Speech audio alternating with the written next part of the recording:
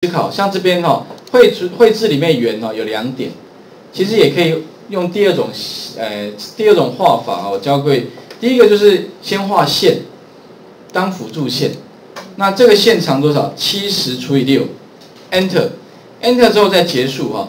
那也就是说，如果两点的话呢，我们可以怎么样呢？绘制圆两点，那可以从这边到这边不就一点，然后一直过去过去。那也就是说，我需要做什么呢？我需要做几个动作，复制线长。当然你也可以一直画了，好，七十除以六是比较慢。那比较快的方法就是复制。顺便教会一个功能叫做复制。比如说我今天希望把这一条线一直复制几段呢？应该六段哈，那六段的话呢，我就直接怎么样呢？按复制，第一个复制之后的话呢，接下来它选取这个物件，选完之后的话呢，哈，我就按空白键哦，哎，选一下物件哦，来再一次，复制，选选一下，哎，等一下，好，点它之后按空白键，选到之后对不对？请你哈，从它的左边有没有点一下，再点到哪里的？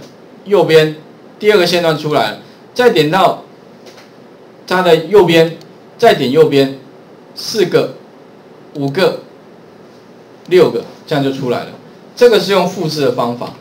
复制完之后的话呢，这边就有六个线段，对，我们可以用配合绘制里面的圆里面的两点。那我刚刚讲过了没有？两点点下去之后的话呢，再点这边第一个就出来了，找到端点，对不对？那再来哈，你还要必须什么呢？绘制。圆两点很慢，对不对？教过一个快的方法，按右键，什么呢？重复两点。哦，那你想说，老师，那我按空白键可不可以？不行，因为空白键按下去，那个圆是从中心点画，不是从两点画，所以这个方法会比较快一点点。